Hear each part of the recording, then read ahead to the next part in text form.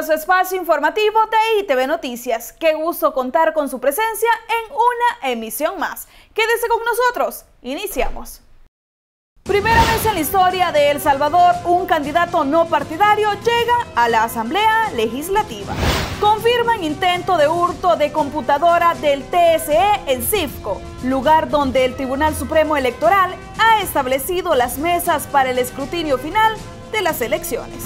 Presidente Salvador Sánchez Herenda la orden de inicio a rehabilitación y modernización de la planta Las Pavas.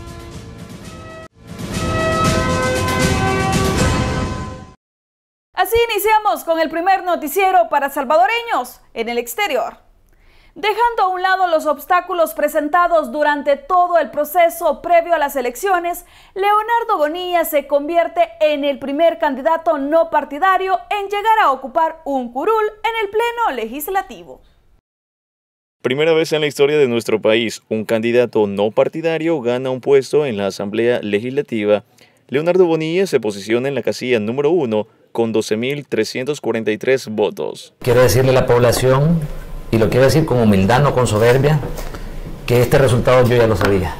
Lo sabía desde hace bastante tiempo eh, porque habíamos hecho una lectura de la coyuntura salvadoreña y sabíamos que el descontento podía ser capitalizado.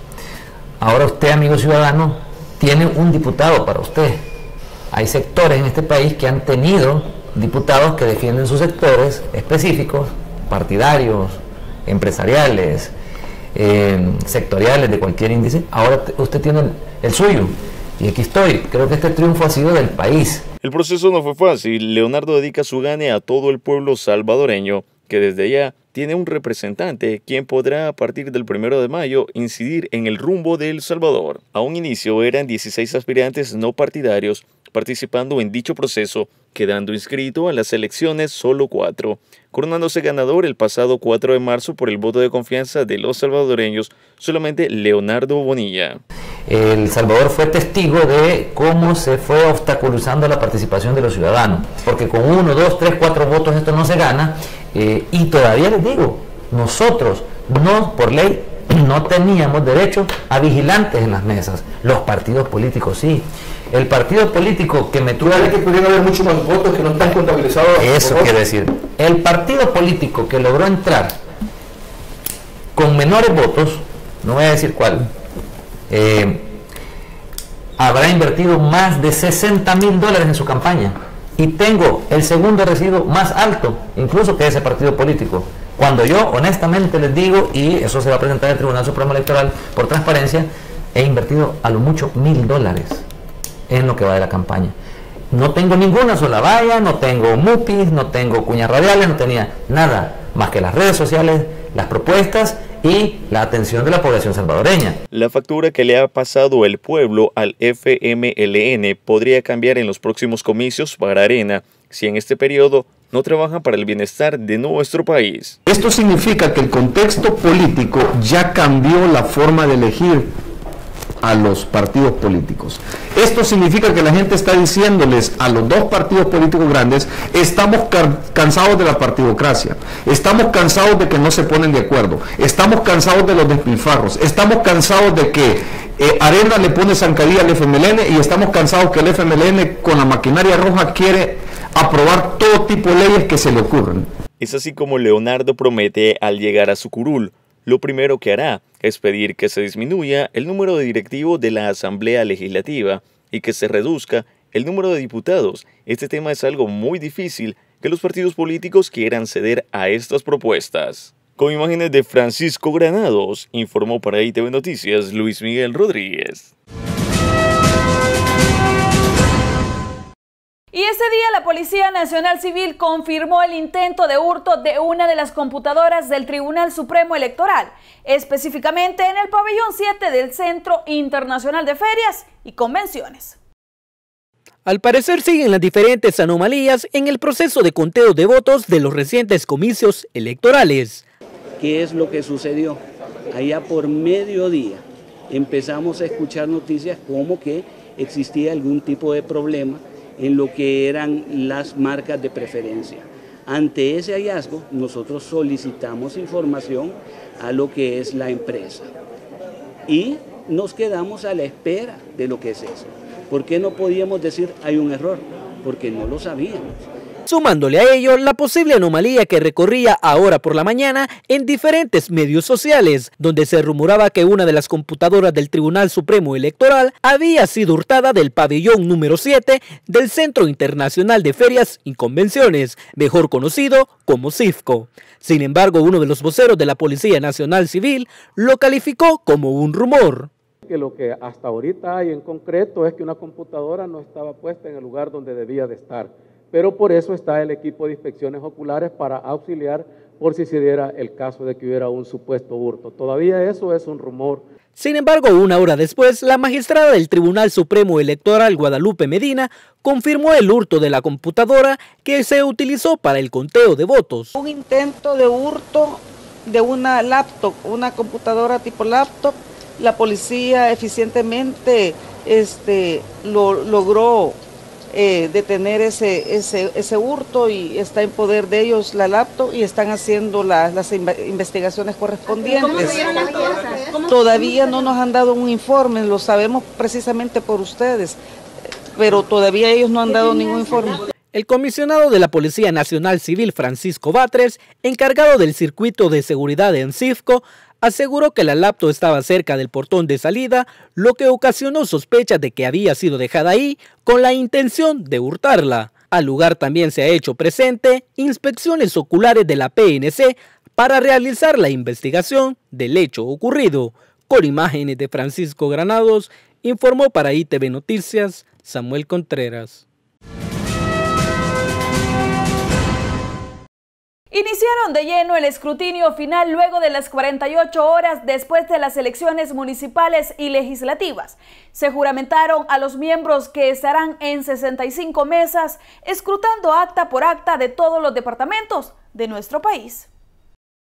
El Tribunal Supremo Electoral inició el escrutinio final sin tener la totalidad de las actas procesadas. El portal de divulgación de resultados registraba que a nivel de las elecciones legislativas se escrutó el 99.7% de las actas y a nivel municipal el 100%. Los números arrojaban que habían 384 actas de consejos municipales pendientes que representaban el 4.7% y 604 de diputados que eran el 6.41%. La última actualización de resultados se hizo a las 8.35 de la noche. El magistrado Fernando Argüello Telles comentó que el escrutinio preliminar avanzaba más rápido en unas zonas que en otras y detalló, Nunca vamos a lograr alcanzar un 100%, no esperen ver un 100% de actas escrutadas en un escrutinio preliminar, porque no se pueden subir aquellas actas que tienen problemas. Otros son los supuestos donde el escáner no pudo transmitir, comentó. Por su parte, el magistrado Miguel Ángel Cardosa explicó, luego de la juramentación de los miembros, el escrutinio preliminar se daba oficialmente por cerrado con el porcentaje de actas escrutadas que se tenían, pero que la empresa se quedaba trabajando hasta completar su trabajo. Al respecto, el representante de Smartmatic dijo que la lentitud del procesamiento se debe en parte a que no todas las actas se enviaron a través de los escáneres. Hubo unas que se mandaron mediante USB. Autoridades de la Fiscalía General de la República, observadores, los partidos políticos contendientes y cuerpo diplomático testificaron la juramentación de 1.100 personas que van a participar en el escrutinio final. En siete días se ha programado que se termine el trabajo. Informó para ITV Noticias Luis Miguel Rodríguez. Muchísimas gracias a todos los que se informan con nosotros a través de nuestro Facebook ITV El Salvador. Nos alejamos un momento de su pantalla, no nos cambie, ya regresamos. Quédese con nosotros. Ya regresamos con lo mejor de ITV Noticias.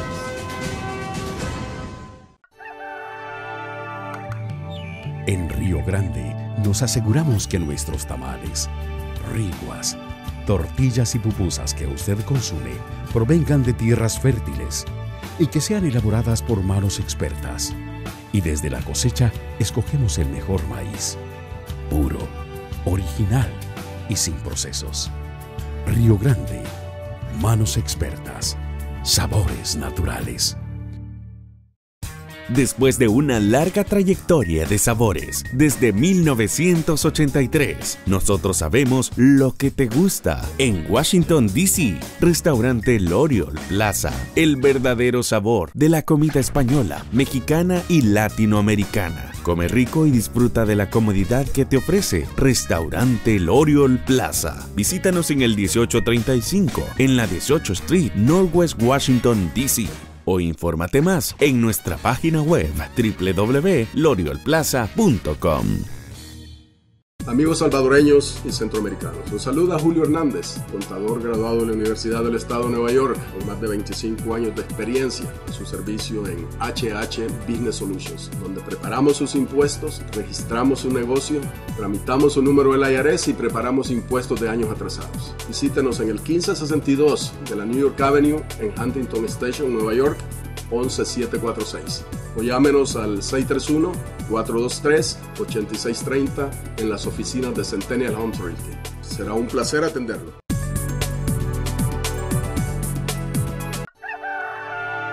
Nada se compara a los frijoles Río Grande, cultivados en buenas tierras con manos 100% nuestras, traídos especialmente para que disfrute de ese sabor genuino, como en casa. Búsquelos en tiendas y supermercados. Elija nuestra marca Río Grande y Chirilagua. Frijoles de calidad, blanditos, limpios, como a usted le gustan. Río Grande, manos expertas, sabores naturales. Continuamos con ITV Noticias. Gracias por continuar con nosotros. El Ministerio de Economía, a través de la Dirección de Innovación y Calidad, lanzó la cuarta edición del programa Innovatic 2, con la que se pretende elevar la productividad y la competitividad de las pequeñas y medianas empresas del sector manufactura. Con una inversión de más de 125 mil dólares, el Ministerio de Economía junto con la Dirección de Innovación y Calidad y Fondo de Desarrollo Productivo pretenden que las pequeñas y medianas empresas del sector manufactura puedan incorporarse en la era digital. Es un instrumento diseñado para, estimular que las eh, empresas del sector industrial, de manufactura, eh, comiencen a integrarse a la cuarta revolución industrial, es decir, que empiecen a integrar sistemas eh, de información y comunicación a sus procesos productivos con la finalidad de buscar eh, competitividad, de buscar una mayor productividad, una mayor eficiencia en los costos y también una mayor eficiencia en las respuestas que pueden tener para sus clientes locales o clientes internacionales. Nosotros somos parte de los proveedores que atendemos a las pequeñas y medianas empresas para que adopten la tecnología global que es SAP y pues con fondos de Fondepro, que son los que los proveen. Uno de los motores principales de la ejecución de este tipo de programas es la agresiva competencia a la que se ven enfrentadas las empresas industriales en el mercado. La competencia viene con innovación entonces nosotros apoyamos a estas empresas para que adopten esta tecnología, optimicen sus procesos y sean competitivos. No solo plantea la necesidad de la integración de los sistemas a las empresas de manufactura, sino que también permite que los desarrolladores y, comercializadores de software empiecen a mirar al sector industrial como eh, un nicho eh, importante ¿verdad? para el desarrollo de eh, nuevos productos de software y sistemas. En un inicio son alrededor de 70 empresas las que participan en este proyecto, resultando al final solamente 10 ganadoras. El premio es realmente el cofinanciamiento que le brindamos de alrededor del 75% del valor de la implementación del sistema. Adicionalmente a esto, eh, se les otorga el acompañamiento de un auditor que le permite a la empresa ir verificando los avances que tiene cada una de las empresas eh, desarrolladoras o de las empresas que están incorporando los sistemas a la producción. Según el director de Innovación y Calidad del Ministerio de Economía, la implementación de las tecnologías de la información y comunicación han mejorado significativamente la gestión, planificación y el control de los procesos y operaciones, con imágenes de Francisco Granados, informó para ITV Noticias Samuel Contreras. Una vez más, la intolerancia cobró la vida de un automovilista de la tercera edad. Al parecer, el crimen estuvo a cargo de un miembro activo del Cuerpo de Agentes Municipales de San Salvador. Además, se le vincula a ser parte del equipo de seguridad del alcalde Nayib Bukele. La intolerancia automovilista ha dejado luto en una de las familias salvadoreñas. El día de ayer un hecho de violencia cobró la vida de una persona identificada como José Ángel Castillos, Salvador. El escenario, la 29 calle Poniente y 29 Avenida Norte en la colonia Laico de la capital. Es un acto lamentable el que se dio el día de ayer, una persona de 61 años y el agresor, una persona de 37 años de edad. Según la Policía Nacional Civil, el asesinato estuvo a cargo de Jaime Arturo Raimundo Carvajal, de 37 años de edad, quien formaba parte del cuerpo de agentes municipales de San Salvador.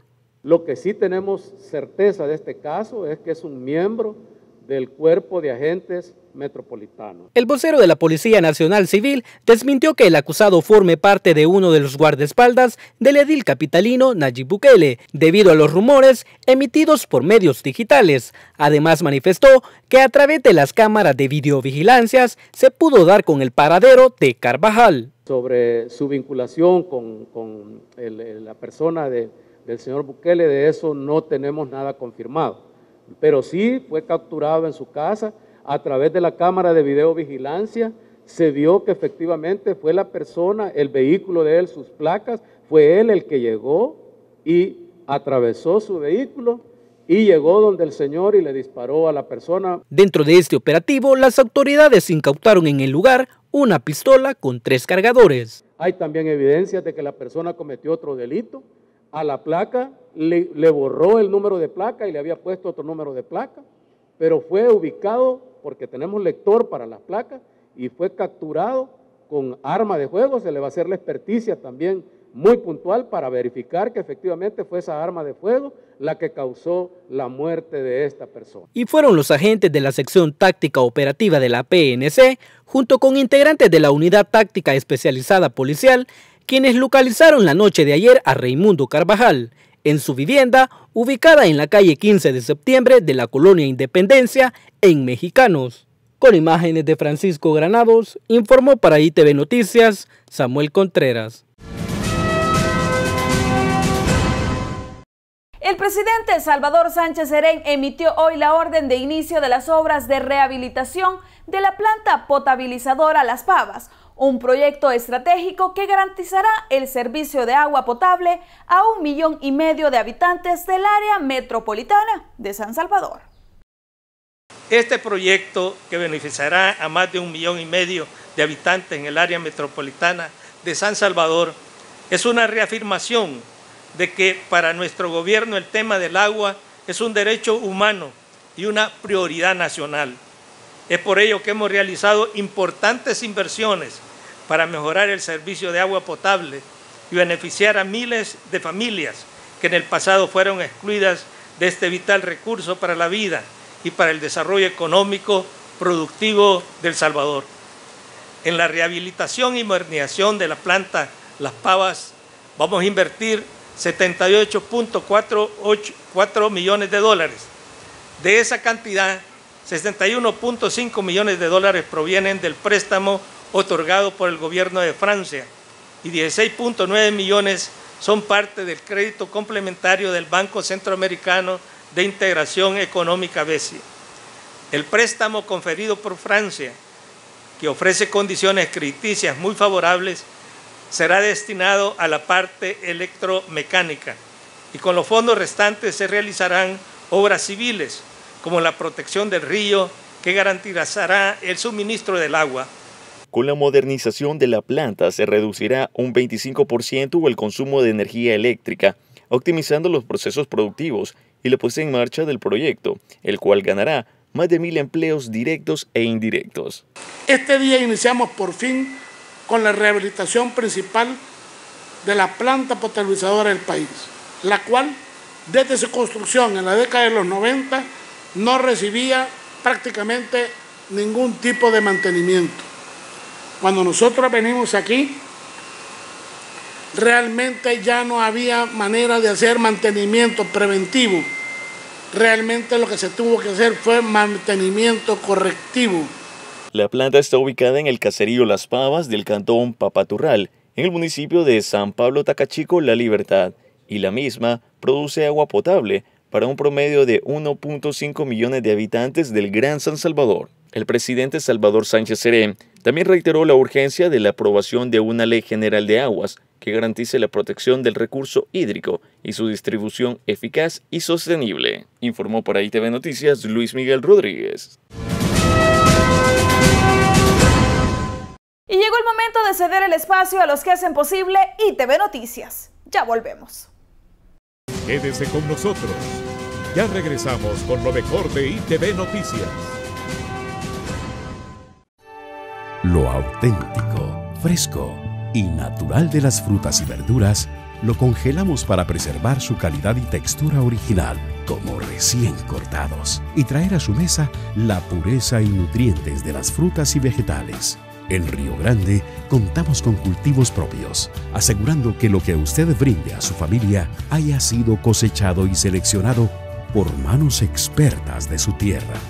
Río Grande Después de una larga trayectoria de sabores, desde 1983, nosotros sabemos lo que te gusta. En Washington, D.C., restaurante L'Oriol Plaza, el verdadero sabor de la comida española, mexicana y latinoamericana. Come rico y disfruta de la comodidad que te ofrece Restaurante L'Oriol Plaza. Visítanos en el 1835, en la 18 Street, Northwest Washington, D.C o infórmate más en nuestra página web www.loriolplaza.com.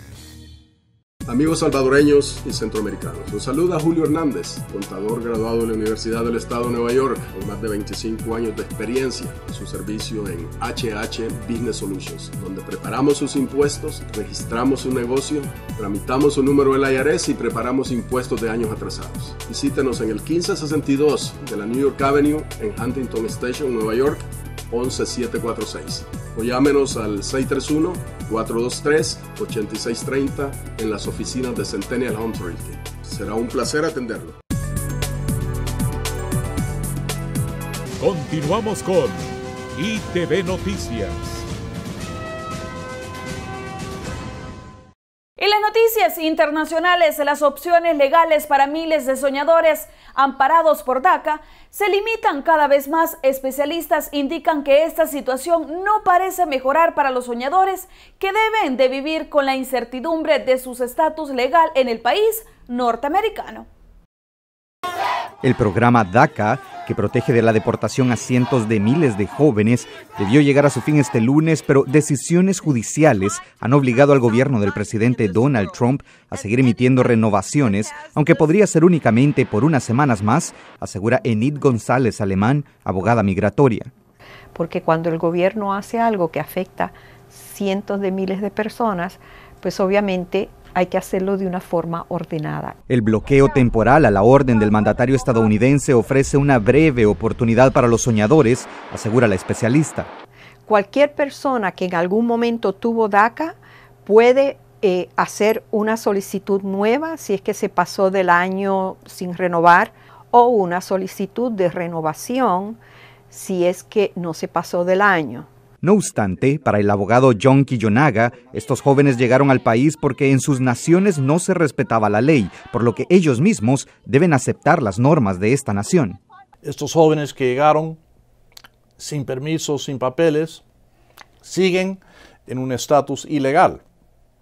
Y el hecho de que sean muy buenas personas, destacadas en sus estudios o en sus carreras, no cambia eso. Ambos especialistas aseguran que el problema debe resolverse en el Congreso, aunque hay pocas esperanzas de que ocurra a corto plazo y el dilema podría quedar en manos de instancias superiores. Si no hay una acción definitiva por el Congreso, esto se resolverá a nivel de la Corte Suprema del país. Mientras tanto, la vida de los llamados soñadores continúa su marcha en medio de la incertidumbre. de familias inmigrantes prefieren soportar la invasión de roedores e insectos a la invasión de agentes de inmigración. El temor a ser deportados los hace vivir en condiciones insalubres.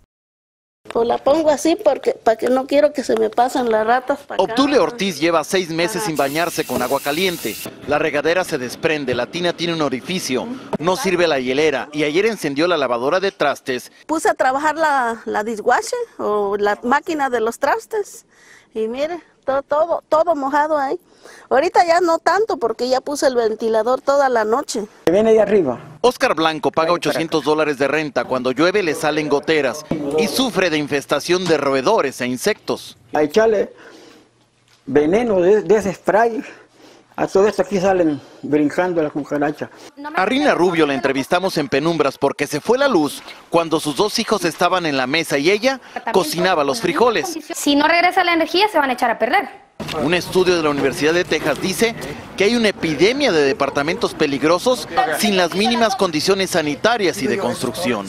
Aproximadamente 320 mil apartamentos en la ciudad y necesitan, y casi todos estos apartamentos fueron construidos en 1970 más o menos. Así que no se les está dando buen mantenimiento. La coordinadora de la comunidad con la ciudad de Houston nos dijo que sí hay los sistemas en que los inquilinos pueden reportar los problemas, pero ha notado que en edificios donde hay hispanos la gente no denuncia. Por esas razones, porque son inmigrantes o tienen uh, miedo de alguna represalia. Doña Obdulia le reza a la Virgen de Guadalupe para salir de ahí. Y una pareja de indocumentados recibe una visa especial para poder cuidar a su hija con parálisis cerebral, siendo ese un caso una luz de esperanza para otras familias que atraviesan situaciones difíciles por su condición de inmigrantes. Noelia es una niña de 11 años nacida en los Estados Unidos y desde que nació comenzó a remar contra la corriente. Ella se aferró mucho a la vida y Dios le dio la oportunidad. Solo Dios sabe que, por qué me regaló este angelito. A pesar de sufrir parálisis cerebral y gracias al cuidado de sus padres, su condición no fue obstáculo para seguir con la vida. Pero lo que Noelia desconocía era que sus padres, de quien dependen todos los aspectos de su vida, eran indocumentados, situación que ponía en peligro diariamente su futuro, su salud y también su vida. Cuando manejaba yo a sus citas, que un policía me fuera a parar, que, que me fueran a detener, con quién se iban a quedar mis hijos. Con un futuro incierto, la familia de Loya descubrió a través de su abogado que su precaria situación tenía solución. Si la deportación le causa a un familiar con cuidados especiales una dificultad excepcional, puede calificar para esta visa, asegura el abogado Eric Price. Anualmente el gobierno entrega solo 4.000 visas para este tipo de casos. El solicitante debe comprobar que ha estado en el país al menos 10 años, tener un hijo o cónyuge con una condición que le impida valerse por sí mismo y no tener delitos mayores. Cuenta mucho que tú seas un buen ciudadano. Yes. Yes. Yes. Entre las condiciones que ayudan para la cancelación de la deportación 42B y solicitar la residencia por cuidados especiales está síndrome de Down, esquizofrenia, autismo o parálisis cerebral que incapacite a un individuo. Información que a esta familia le cambió la vida. Tranquilidad y seguridad más que nada. Que puedo luchar por los derechos de mi hija. Hoy Natividad y Noé pueden cuidar de su hija sin ninguna preocupación, dándole el cuidado necesario y la seguridad de que estarán con ella, sin la preocupación de ser deportados. Y con lo más destacado del ámbito internacional, así cerramos nuestro espacio informativo de ITV Noticias. Recuerde, mañana 7.30 de la noche, hora de El Salvador, para que usted se informe de todo lo que está ocurriendo en nuestro país. Muchísimas gracias a todos los que se informan noche a noche con nosotros, con el primer noticiero para salvadoreños en el exterior. Bendiciones.